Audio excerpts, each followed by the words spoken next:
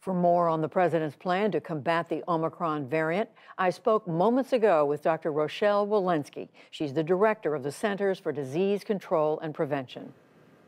Dr. Walensky, thank you very much for joining us again. The president announced a number of moves today, but we also know Omicron is said to be spreading like wildfire across the country. Are these steps going to come soon enough to blunt its impact? You know, I know people are concerned and things are moving quickly. So let me step back and sort of tell you where we are. So we have announced uh, today that we have about 73% of cases now are projected to be Omicron.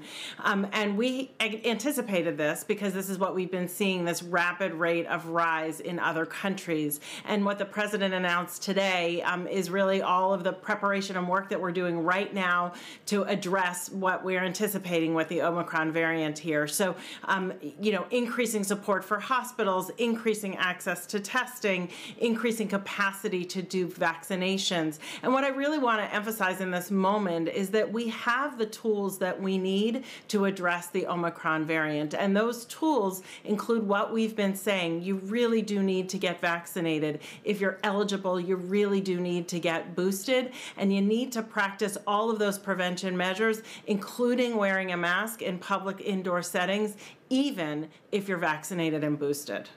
And Dr. Walensky, with regard to testing, I know 500 million sounds like a lot of tests, but there are 330 million Americans. Who's going to be first in line? Yeah, this is a really important question. The government is working together to do a lot in testing, and we know we have more work to do. So 500 million rapid at-home tests, but also 20,000 PCR um, site, uh, sites are available now to do PCRs, and we are actually um, ramping up and doing more federal testing sites, and we're targeting those testing sites even right now in places that have increased demand. And then, of course, as you noted, 500 million um, more rapid tests to be distributed to those who have had less access to testing. As you know, there are questions being raised about whether testing was ramped up quickly enough. Um, we see what you're doing today. The president said Omicron has come on so fast that it wasn't anticipated. But there are people out there, there are critics who are saying the administration has known for months that there was going to be a need for more testing, and you should have done more. The administration should have done more sooner. Yeah, and we have been ramping up that supply. We have now eight FDA approved, um, well, eight FDA approved at home tests now available, and five more that um, have been authorized and are on the way. Um, increasing accessibility to PCR testing as well as these rapid testing is a key part of what we're doing right now. So, was the administration caught off guard? I heard you say a moment ago you knew this was coming, but then the president said today that Omicron has come faster than anyone realized. Right, really important question. We heard about Omicron in the last weeks of, of November, and since that time, we've been following carefully with our colleagues in other countries. In those places, we have seen doubling times of this virus in the one and a half to three day rate. Um, and with those doubling times, we anticipated that we would be seeing this kind of increase um, from, you know, 3% of cases to 73% of cases um, in around this period of time so, so you're saying you knew this was coming? We have been following carefully the science and we have been working hard as we anticipated this because we knew that Omicron had this capacity to increase at this rate. Let me ask you about booster shots, Dr. Walensky. Um, we know people are advised to get them at the appropriate time. But we're now hearing from a respected scientist, Dr. Peter Hotez, who's a virologist. I believe you know him. He said today that people should look at getting another booster shot if it's been three months since their first Pfizer booster. In other words, a fourth a fourth shot. What is the CDC saying about this? What's the recommendation? Yeah, we currently don't have any data on that approach, and that is not our current recommendation. But let me tell you about our current recommendation, which really is to make sure that you have those two shots of your mRNA, your Moderna, your Pfizer vaccine, and if you are eligible six months out to get your booster shot. What we know now is that if you're unvaccinated, you have a 20 times increased risk of death compared to people who are actually boosted, a 10 times increased rate of being a case if you're unvaccinated compared to if you're boosted, which is why right now at this moment, with a variant that has so many mutations that really does need that extra layer of protection, now is really the time to go out and get your booster shot, especially for those who are um, more vulnerable, our older populations. Is the CDC looking at uh, this question of fourth shot?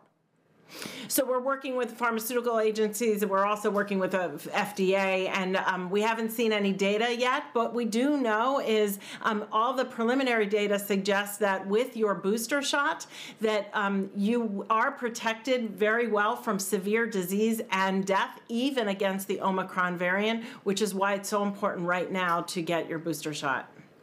And another and a question about masking. Uh, we know the administration is recommending wearing masks uh, in, in, wherever there's a congregate setting and people who you don't know whether they're vaccinated. But we also know that the N95 mask is considered safer. Is the administration, should the administration, are you looking at whether you should be recommending that people wear N95s regularly rather than just a typical surgical mask, which is what so many Americans are doing? Yeah, we want to make sure that people have access to really well fitting masks. Our guidance um, very much articulates that you need to have a mask that is well fitting, snugly fit, that um, it, uh, it is two layers of cotton at least, and that you um, often have a, a, wire bridge around your nose to keep that snug fit. If people want extra layers of protection, the KN95s or the N95s um, do offer that, but what I also want to um, really emphasize is that you need to be able to keep them on on for when you're in those settings. Those KN95s and N95s are often not as comfortable. So if you're going to take it off, the really important thing to do is make sure you're masking the entire time. And finally, Dr. Walensky, the president today emphasized again and again, and you just have now, to people who are not vaccinated to get vaccinated. But we also know that something like 30% of all Americans still are not vaccinated after the administration basically putting out this message day after day since the for the past year. Do you see any evidence that this message is getting through? You know, we're working one person at a time, one vaccine at a time, one community at a time. Um, we certainly know that now in our hospitals, the vast majority of people who are in them are unvaccinated people. And our job is now the hard work of rolling up our sleeves and, and speaking to communities, speaking to individuals. I've done so personally, um, and I will continue to do so to get the message out. Do you think that's working? Um, I consider every person that we vaccinate a success. So, yes, one at a time. It's working and it's working slowly, but it's working. All right, Dr. Rochelle Walensky, who's the director of the Centers for Disease Control, thank you very much. Thank you.